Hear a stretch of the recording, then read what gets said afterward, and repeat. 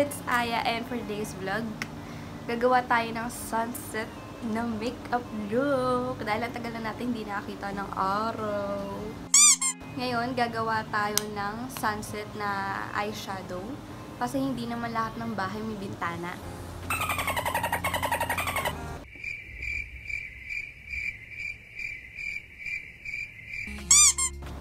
Para sa ating base, ito yung Shiseido na Ultimune.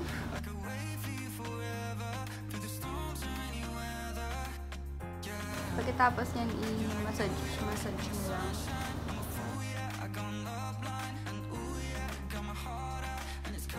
For our foundation, ito yung Fit Me na foundation in the shade 120.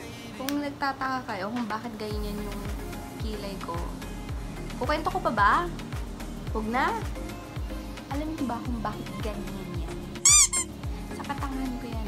Ito kasi, ayan, yun yung pang-ahit ko.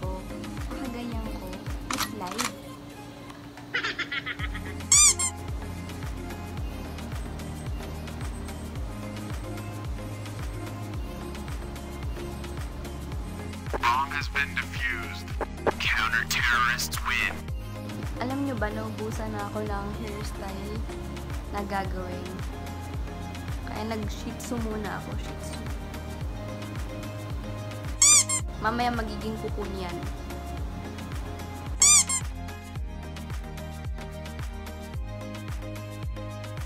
Kuha lang ako ng ganitong brush. Kung gusto niyo ng sponge, okay lang naman.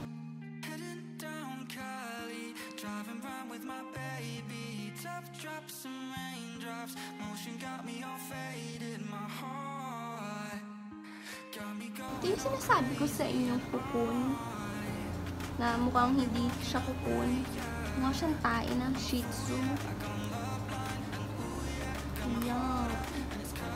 Diba mukhang poop ng shih tzu? Ito yung Maybelline na fitting concealer in the shade 15. Para matakpan ang ating Toy Bugs Dives. May marimar. Alam niyo, para may kwela tong vid natin. Asa ewan ko mamaya, tuturuan ko kayo. Dami ko yung nasabi na di raw marunong sumayaw. Hindi nila alam. Galing-galing ko nga. Pagkatapos niyan, uminom kayo ng tubig na may lemon dye.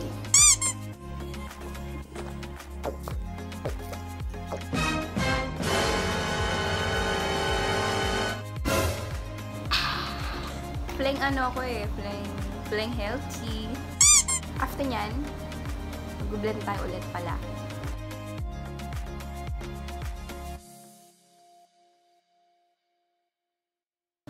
Nakakayos talaga tong kilay ko. Oh, halatang halata.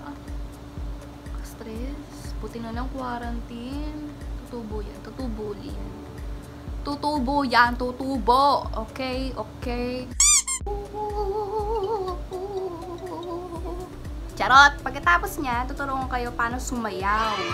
Kailangan, may tuwalya kayo. Talagay yung sa puwet nyo. Ganito, oh, ganyan. Wait lang, lalagay ko muna, ha? O, oh, diba? Ayan. May puwet na tayo. Pagkatapos niya, bilasan lang natin kasi baka mahuli ako ng nanay ko. Diba, pag ganyan, magtotwerk tayo. Talong-talong kayo, ha? Talong-talong.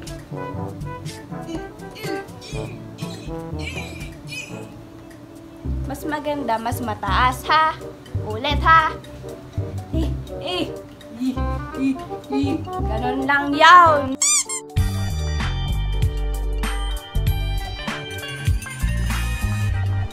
Pagkatapos natin maging manok, eh, kailangan na natin bumalik sa realidad.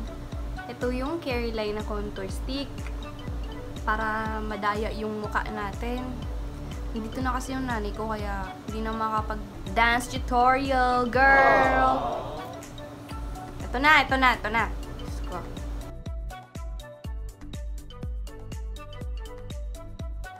Ayan. Ayan. Tapos niyan, kuha kayo ulit dito. Ba't ako yung nagiging batanggenya? Talagay nyo sa ilong nyo.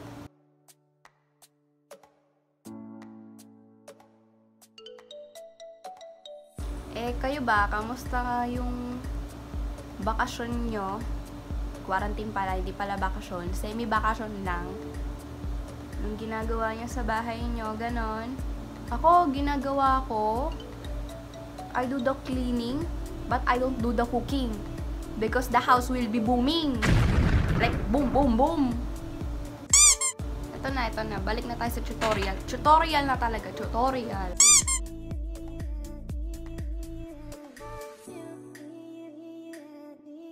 Next, next, next! Ito yung Ichida na Final Powder in the shade Creamy Glow. Alam nyo, kung may sasuggest man kayo sa akin na mga looks, okay lang. Just comment down below kung gusto nyo. Pero yung yung kaya ko lang ha.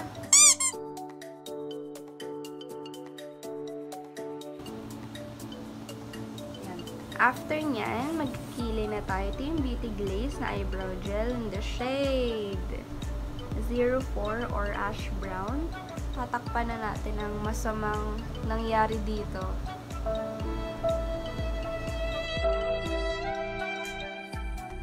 Bakit may ganun tugtog? Saan galing yun? Kuha lang akong ganiring brush. Yan, pagkatapos niyan, may kita nyo na yung kalbo kong kilay. Mhm, sa kabila na lang tayo. Ayan. Mm, Start tayo dito sa may dulo. Papunta dito sa harap para maging faded lang siya tignan.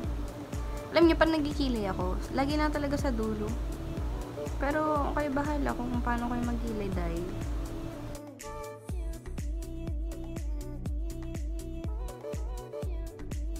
Pagkatapos niyan, i-brush ko na siya mula dulo papunta sa harap.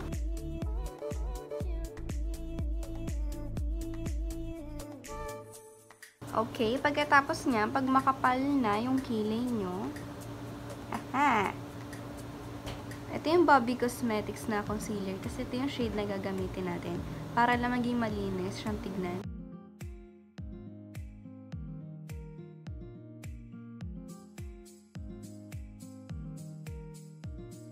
After niyan, magpa-prime na tayo ng mata natin. Hoy, maghugas ka na raw doon ng pinggan. Kanina ka pa inuutusan. So, eto na nga guys. Ano ba namang buhay, are? Ito na yung essence na I Heart Stage eyeshadow base. Kailangan natin to before tayong mag-proceed sa eyeshadow.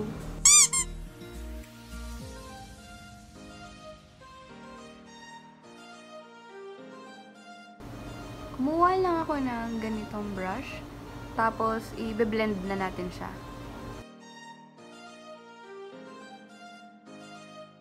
Ito yung eyeshadow palette na gagamitin natin, Beauty Glaze Color Fusion.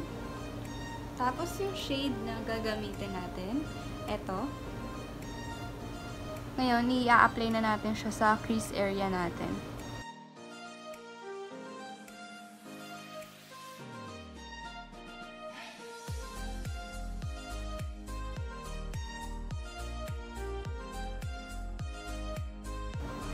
Ganyan yung kinalabasan niya, guys. Tapos niya, magka-cut crease na tayo gamit itong color na to.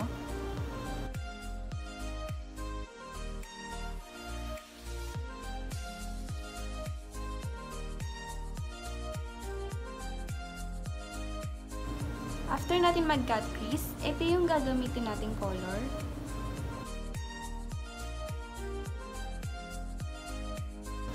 After nyan, i-blend in ulit natin tong color red pa loob.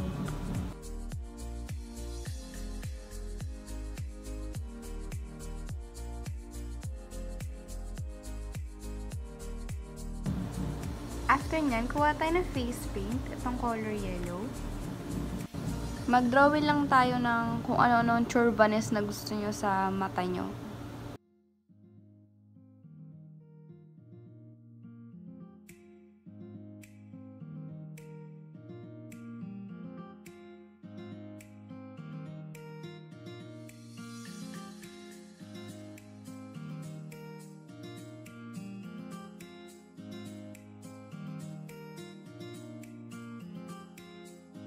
Next, ito yung blush on natin, Sansan. O, naligo ka na ba? Hindi pa. Naligo ka na muna, kanina-kanina pa yan. Hindi ka na tumigil-tigil dyan, puro yan na lang ang ginagawa mo maghapon. Naligo ka muna!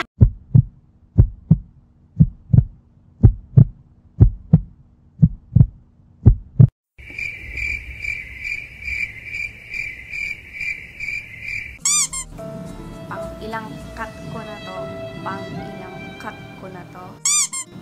Ito yung Sansan na blush on in the shade Pink Blush.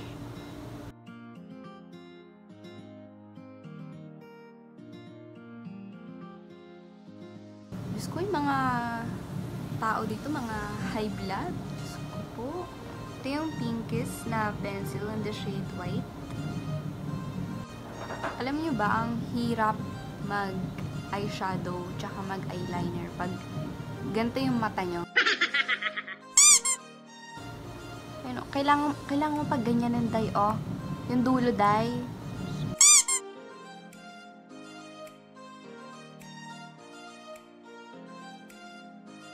Naglalagay din pala tayo ng eyeshadow dito sa ilalim ng mata natin. Same shade lang.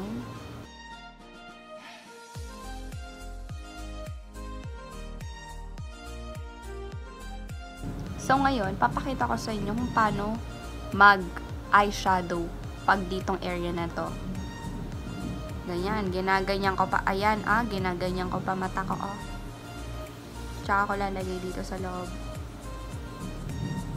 Diba? Apakaganda ng buhay.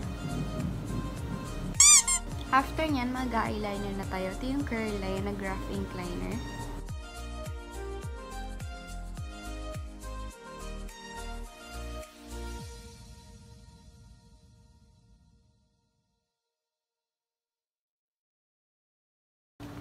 Minsan nagtataka na talaga kung bakit walang pilit mata. Ayun o, wala talaga. Onti lang, mga lima, ganun. Limang piraso lang.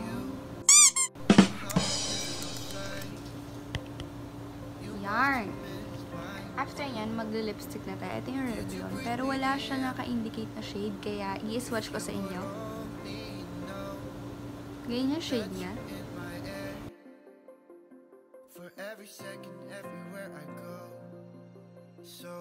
Lastly, mag-highlight na tayo. Ito yung Everbelena na Advanced Highlighter in the shade Stroke.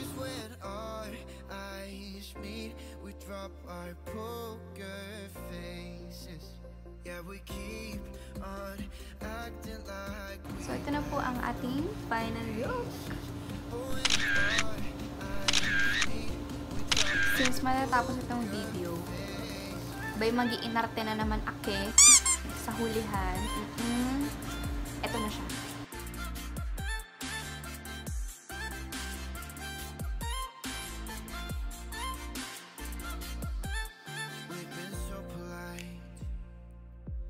We didn't say a word too much. We hid behind the daylight. While I was longing for your touch.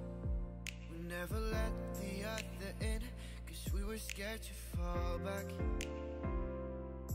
into the old habits. But we will. Yeah, we're on the track. So why are we hiding in these crowds?